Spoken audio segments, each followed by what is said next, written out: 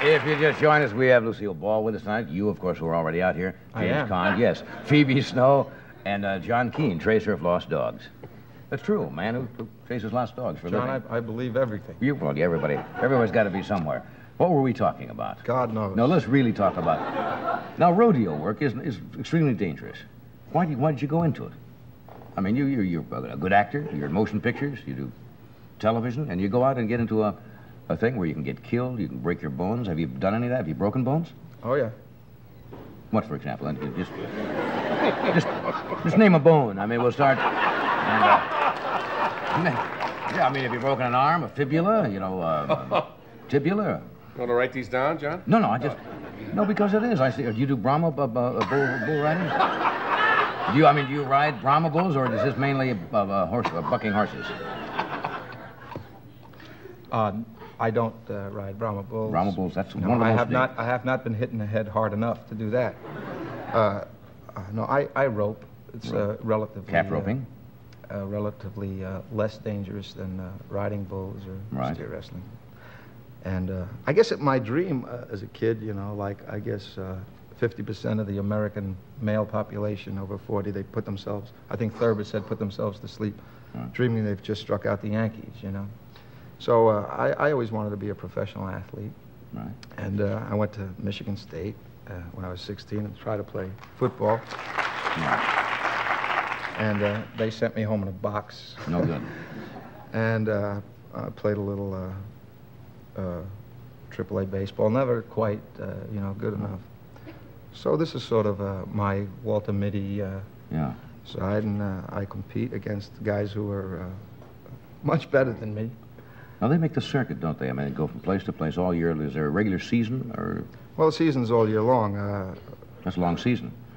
Well, there is a there's a month. I mean, a month off. The national finals start December 3rd, and they run through the 13th, and then the next big rodeo will be uh, Denver in the middle of January, and then from there on, there's 500 or so rodeos throughout the country, and uh, You could enter as many as you wanted. yeah. That's crazy. But I mean, of course, you have to get there. I mean, one is in Alabama, and one might be in. It's uh, it's a shame these guys who I think are great athletes. Uh, they have to pay their way, uh, pay their rooms, and drive hundreds, hundred thousand miles a as you year. say, if they don't, and they get nothing. I mean, absolutely. the so. world champion bull rider uh, a couple of years ago uh, made twenty-one thousand dollars, eighteen thousand of which it- it cost them to go down the road, as they say. You know. Yeah. Now the guys that have to pull their horses and uh, uh, they can't fly and make as many rodeos as Right. Bull riders and bareback riders, and so they're on the road constantly. And it's, uh, I don't know, they're, they're great way to make a athletes, but it's very difficult, I guess, to, to stimulate fan interest. I mean, you can't get a guy and his family to go out to root for a guy for eight seconds. You know, it's pretty tough.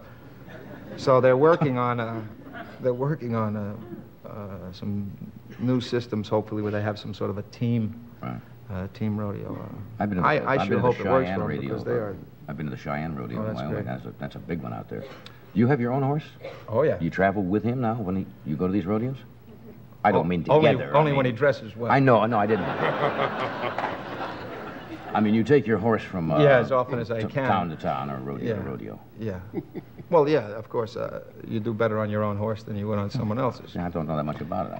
And my horse and I, we just kind of, we kind of get along. Oh, know that's what Good. good. One more boy. We have some. Uh, we have some film, don't we? Of you in action. You mentioned it earlier. He That's- did. That's where I He heard it. did. That's where I heard it. I heard him. Which? Uh, you all having a good time or what? Oh, I mean, yeah. Of course they're having a good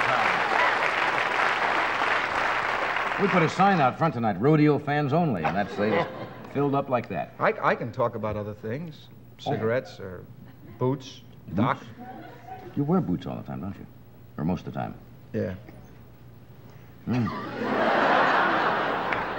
didn't want I didn't want hey, you to go hey, into these that boots, deeply. now, this is very interesting. This, this, these boots are, uh, Made for walking. every time I get rolling. Oh, I'm not saying. oh, you want to roll there? They're made by a man named uh, Sam Lucchese. These are, this is Jack Ratang Lizard. And uh, this guy is an artist. He's 70 something years old, and he's the last of a line of a family who's made boots for 300 years. Well, And, that uh, should be very tired. I don't. I'm- in I'm- one- I'm in- trying, I know. you I'm in one I of those mean, I'm- silly moods tonight. I, What kind of lizard was that? I'd never heard of that, that particular lizard. neither have I. They told me on the box. It No, but- said uh, Jack Ratang lizard. Jacques Latin lizard. What do I know about Well, I- lizards? Well, what do I know? Figured, figured. Ask me about, ask me about cars or uh, uh, zip guns or something. I don't know nothing about. about Why don't we look at the film? Why not? Oh, That's a great idea. What, uh... Now, what, what rodeo is this from? Is that what we're going to see? Did you guys get together before? This Is isn't it- a rodeo, is Well, it? this is not the rodeo film.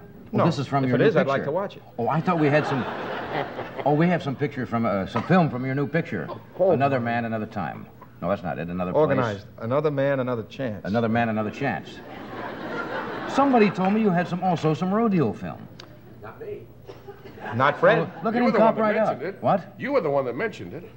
I guess I was the only one who thought we had. Uh... Anyway, you were just saying you were very happy with the picture. Yes. Uh, it's um, a picture by Claude Lelouch, who did uh, uh, Man and a Woman. I don't know if. Uh, Yes. and Now My Love. And uh, he's a terrific, uh, talented director. He shoots everything uh, by himself, uh, meaning that he holds the camera himself. And uh, he shot this thing uh, here, four and a half weeks here, in six days in France, and it read like Lawrence of Arabia. You know, I thought I'd be on Right. it for a year.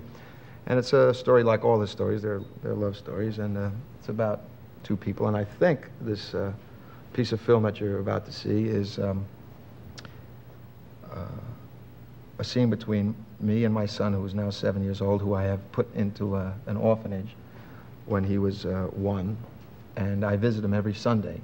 And uh, in this sequence, uh, um, Geneviève Bujold has a girl, Right. and he shows the relationships that um, men try to have with their sons and women try to have with their daughters. She's busy teaching her French and how to be a lady, and I'm busy trying to teach him how to play cards and shoot guns. And I know nothing, of course, about how to shoot guns. I play a, a vet, and uh, I hope that the rest is.